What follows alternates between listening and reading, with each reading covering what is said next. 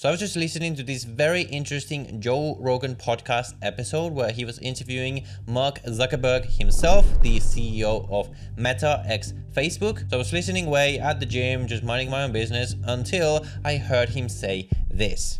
Probably in 2025, we at Meta, as well as the other companies that are basically working on this, are going to have an AI that can effectively be a sort of mid level engineer that you have at your company that can write code. Mm. And once you have that, then in the beginning it'll be really expensive to run, then you can get it to be more efficient. And then over time we'll get to the point where a lot of the code in our apps and and including the AI that we generate is actually going to be built by AI engineers instead of people engineers. So this comes at the back of OpenAI's announcement of their O3 AI model, which I already talked about on a previous video, where essentially the point is that this model had beaten human performance in the ARC AGI intelligence test that basically tests AI's ability to actually reason from scratch, like mimicking human intelligence. And it had also ranked in the top 1% of competitive programming scores, which understandably threw the tech internet into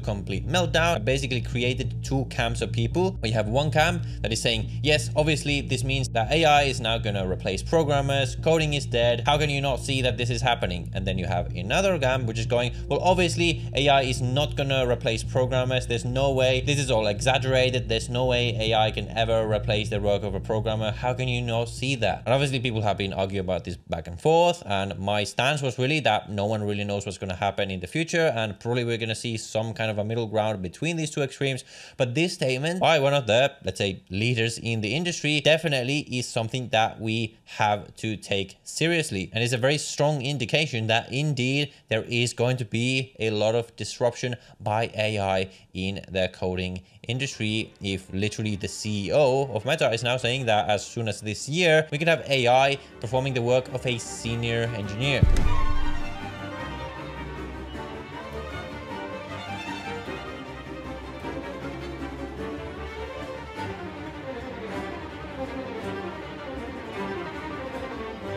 So in this video, I just wanted to discuss this in a bit more detail, give you my thoughts as someone who actually worked at one of these bigger companies as a software engineer to see what I think is the situation. Not that my opinion should outweigh the opinion of Mark Zuckerberg, but I also wanted to show the reactions of the internet, some of the more interesting arguments and reactions that people have been giving to this, as well as give my conclusion on what this means for you and what you should be doing in 2025. So first things first, Mark Zuckerberg is saying this, and obviously he's amazing at building a company. He's built one of the most successful tech companies in the history of the world. But we also want to remember that we don't want to get into authority bias, where essentially this is psychological bias when you have a an expert in one field saying something about a different field that they might not actually be an expert in, but we still believe the authority because we have this image of them in our heads that they are the authority, they're obviously smarter, they know better than we do. And obviously, Mark Zuckerberg is in the tech industry, so this is not exactly the situation here, but we do have to remember that there have been a lot of situations in the past in all kinds of different fields where you have experts, even in the particular field that we're talking about, who have been completely wrong about predictions. Famously, there was a quote by, I forgot who he was, I'll say, I put the name here, but someone pretty important in tech who basically said that, yeah, internet is not going to be a thing. It's all hype. There's no way there's no way internet can ever be important. Now we can all see how wrong that was. So the point here is that just because mark zuckerberg said this doesn't mean that it's definitely going to happen. It's also the case that just as an example their company has been investing heavily into the whole metaverse thing and that hasn't really been playing out at least so far. So time will tell. But let's just see but before i give my full thoughts on what i think will happen and what you should do let's see how people are reacting to this on the internet. Here we have a Reddit post about this topic. Mark Zuckerberg said Meta will start automating the work of middle-level software engineers this year, and Meta may eventually outsource all coding on its apps to AI. So here's an interesting point. This guy's saying bullshit. They're way over leveraged in AI and have literally no other idea. So he's talking up the AI capabilities to keep the investor cash coming. So it is a very good point that he does sort of have a vested interest to say this because AI is something that Meta, the company, is heavily investing into. So he sort of has to say this, like he has to sort of hype up AI in order to keep people and investors, more importantly, believing that it is as effective and has as much potential as they are claiming essentially. And again, here it reminds me of when he went all in and talked big about the metaverse and blockchain, and now it's cricket on that front, which is exactly what I just pretty much said. Here, this guy is saying, Sai, the software development and support lifecycle is incredibly complex. Is he really suggesting that it's a statistical model which spits out trash code to simple questions, which rarely works and regularly adds massive tech debt can understand complex architecture, security, etc. when it has no capacity to understand.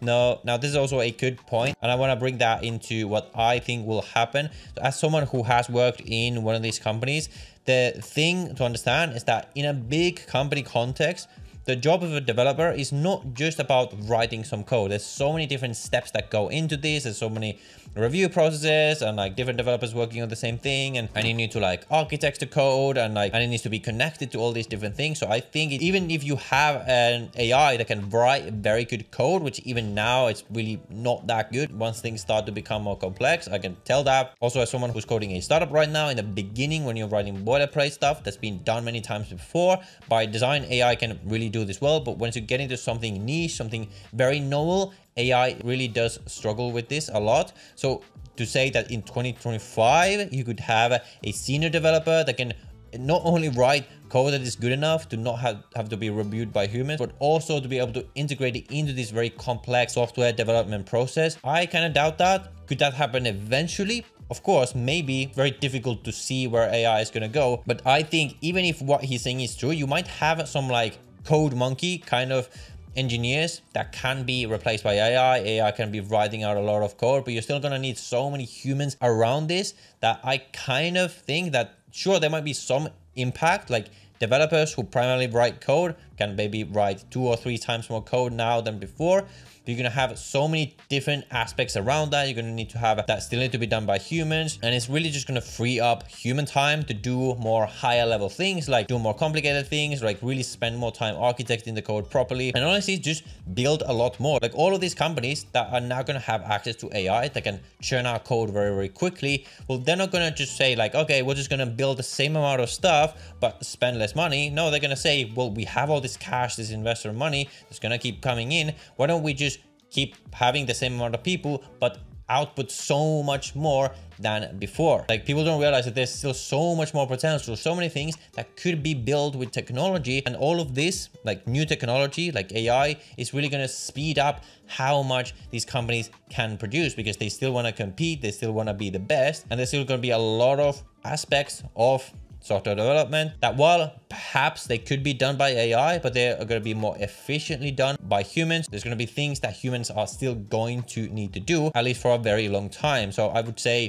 2025, probably a bit of an exaggeration, Probably we have a situation where he kind of, again, has to say this because they're investing into AI. So I wouldn't put too much emphasis on this. So what does this mean for you? What do I think you should do? Well, really, I know I'm going to sound like a bit of a broken record here if you'll be watching more videos on this channel.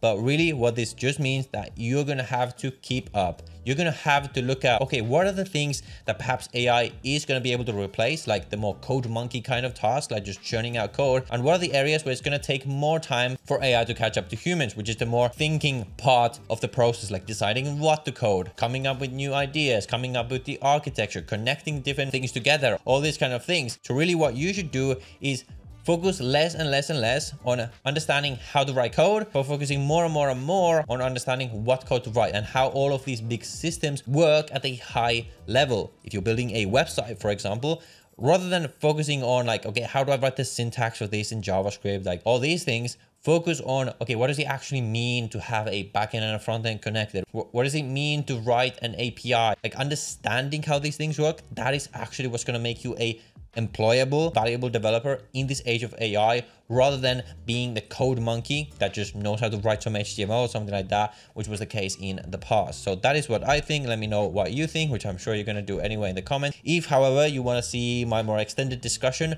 on this new wave of AI, specifically OpenAI's O3 model and what I think about that, you can watch this video right here. With that said, I will see you in the next one.